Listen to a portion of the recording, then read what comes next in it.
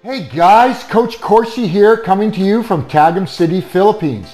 Hope you are doing well.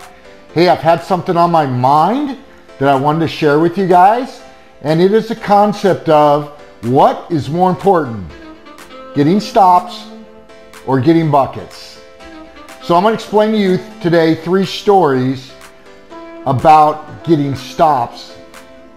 And you're going to find out real quick that I believe that getting stops is more important than getting buckets. Now, it doesn't mean that getting buckets is not important. It's very important to score as well. But as you get to the high school level and above, you realize that everybody can score. It's the teams that really compete and love that scoreboard at the end of the game are the ones that get the most stops. So I believe that getting stops is the most important thing. And I'm to explain to you with three stories my story, Grant Corsi's story, and of course, Tommy Mallon, that I've told a million times story of why I believe from the examples I've seen over the years that getting stops, if you want to get on the court, getting stops is more important than getting buckets. And just to back that up even more, two of the most prolific players and scorers in the NBA, Michael Jordan and Kobe Bryant, both tied with the most all defensive first team selections at nine. Both tied the most first team all defensive player selections.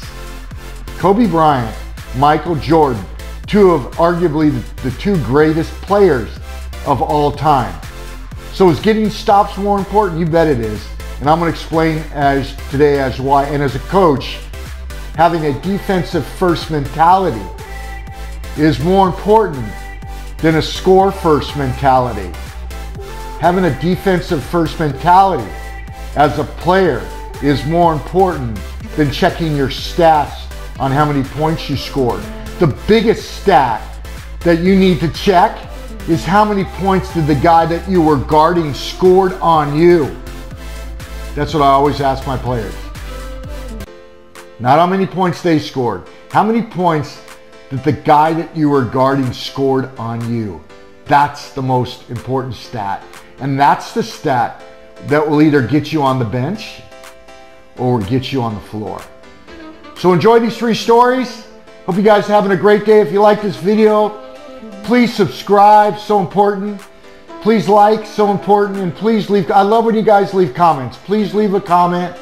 Love it. Please leave a comment. And, and uh, I hope you enjoyed this video.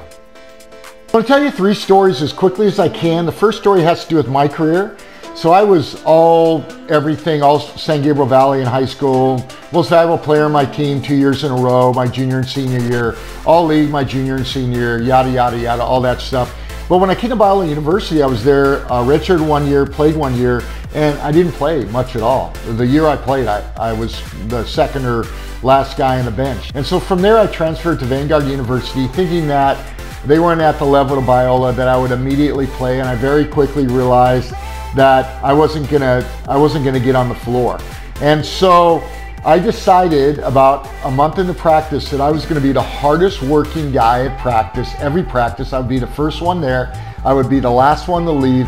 I'd be the hardest working guy during practice, and I would be the best defensive player uh, that year. And basically, that's what I focused in on. And I ended up being six man that year, played a ton of minutes, played some minutes more than one of the starters. And and, uh, and, and, and just had a great sophomore year. Not a prolific scorer, but a great defender, a stopper, would always guard the number one player from the other team, and ended up having a phenomenal year. We did very well, went to the, the finals of uh, NAIA District 3 and lost one game from Kansas City and just had a great year playing. And, and I realized in my life that, that if, I realized very quickly a player can get time just by playing defense. And there was just some mentality. It wasn't a lot about skill level or technique. It was just a mentality to get stops and stop people in order to make myself valuable for minutes. The second story is my son. So my son comes out of Santa Fe Christian, highly decorated, all CIF, all tournament team, played on the best club team in San Diego, on and on and on. And he goes to Biola as well for the first two years. And very quickly in the first scrimmage, uh, there's 13 guys on the team, and he he was the only guy that didn't even play. And so, you know, he went in and talked to the coach. I went and talked to coach, hey, what does Grant need to do to sniff the floor? And he said, Grant isn't ready offensively, but he needs to play better D. And Grant really made a decision right then to really turn the D up. And so he went from not playing at all, that by the second or third game, he was six man, and then he became a starter and started most of the year. Now, again, was he a prolific scorer that year? No. But he played a lot of minutes because his mentality changed.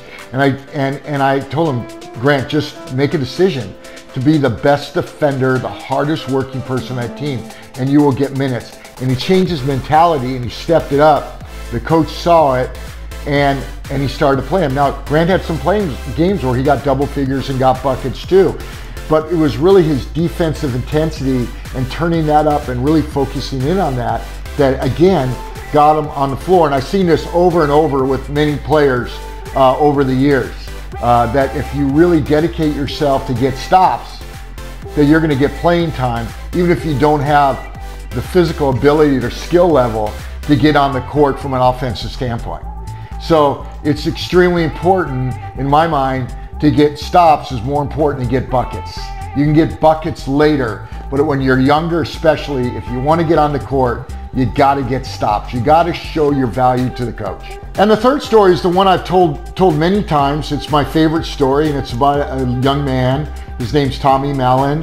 Uh, he played for us at Santa Fe Christian, assistant coach under Chad Bickley there, who is Chad Bickley's won a number of CIF titles at the uh, Division One now, very successful.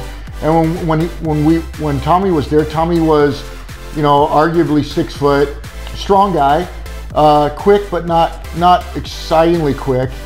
But one thing that he could do better than anybody is he could play defense.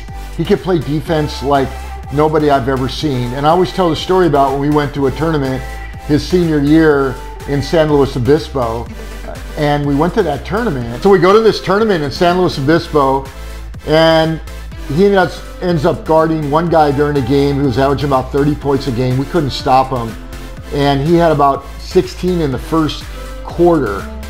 And so we put Tommy on him, even though Tommy was only six foot. The guy was like six five, six six, and Tommy only, I think he only allowed like another six to eight points the rest of the game. So long story short, Tommy gets voted by all the coaches as the most valuable player of that tournament that we won. And I think he only scored six or eight points for the whole tournament. Most valuable player. Think about it. So he graduates and and uh, basically Santa Fe Christian decides to make an award for Tommy Mallon called the Ironman Award. And it's for the best defender.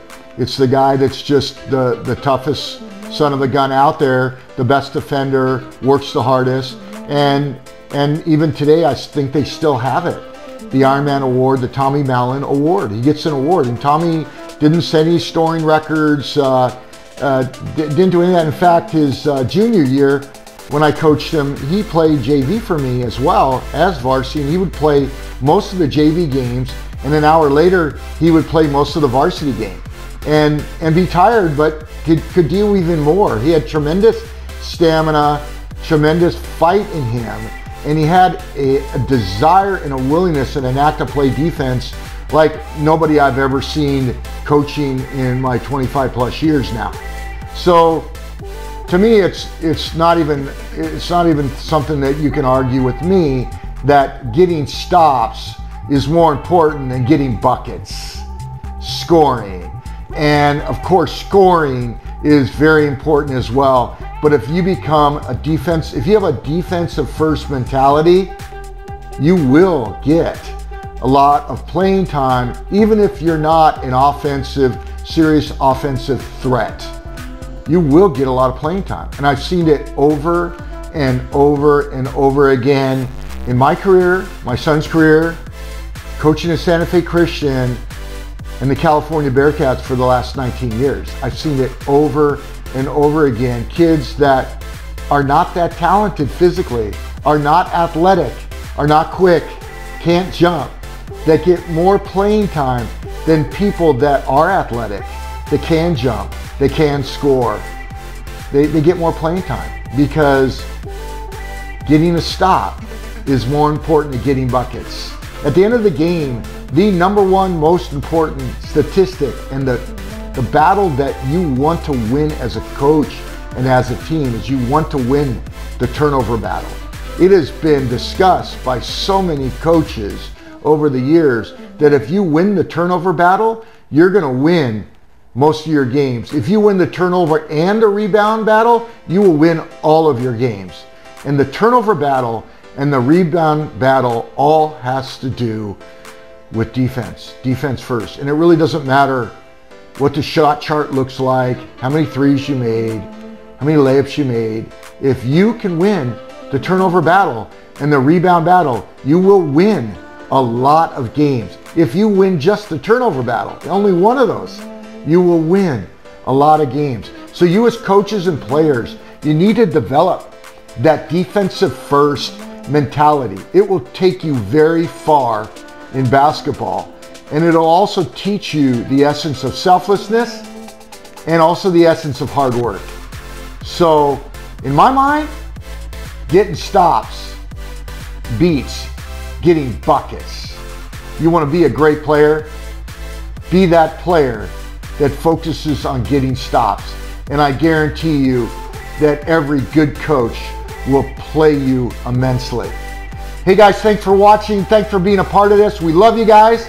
Be home in about three weeks. Looking forward to seeing everybody. God bless you. We're praying for you. Pray that we get through to the U.S. safely. There's going to be a lot of obstacles getting there.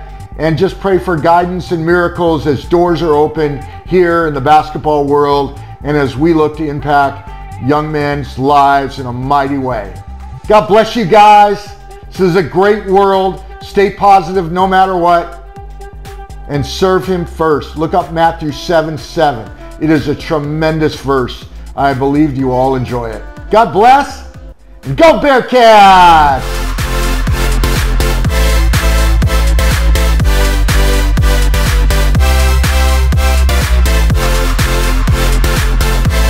Hey guys, Coach Coursey here. Thanks for watching.